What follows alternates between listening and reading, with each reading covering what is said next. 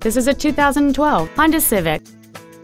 It features a 1.8-liter four-cylinder engine and a five-speed automatic transmission.